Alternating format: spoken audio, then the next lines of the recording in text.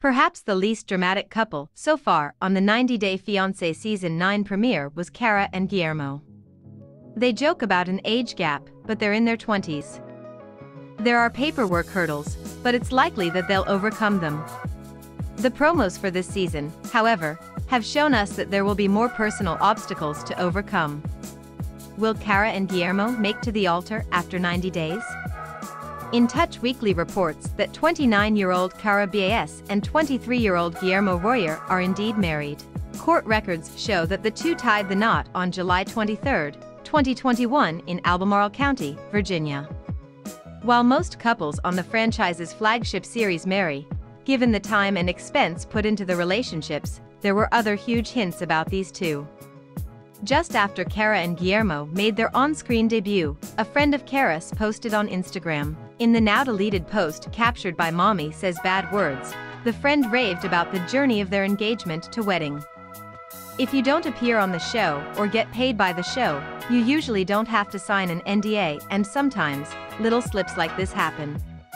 Our introduction to Kara Bass on the premiere was entertaining.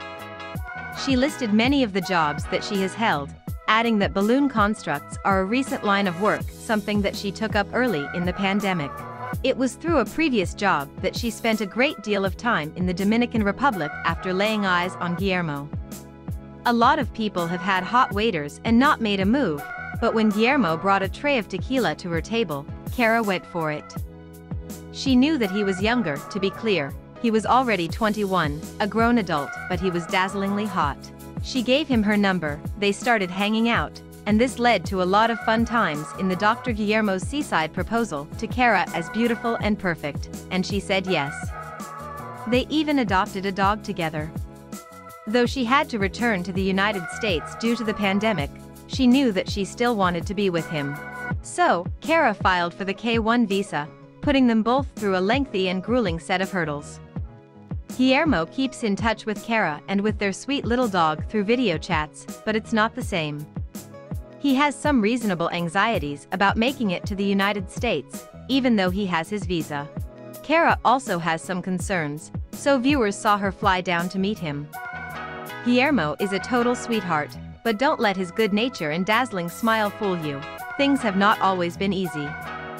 Extreme poverty in Venezuela, where he is from, drove him to protest against the government. When Guillermo witnessed fellow protesters being fired upon by police, he knew that he had to leave, so he went to work in the DR Guillermo's brothers were already working in the Dominican Republic, and all of this led to him meeting Kara. However, his passport is now expired, with no realistic options for him to get it renewed.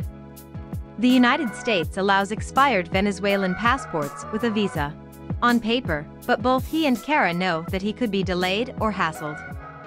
The hope is that the presence of Kara and a camera crew might discourage any security agents from violating laws or wasting Guillermo's time more than they have to.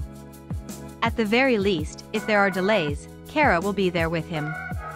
We haven't seen them make their flight back, but we're really rooting for these two so far. Let's hope that nothing that we see this season changes that.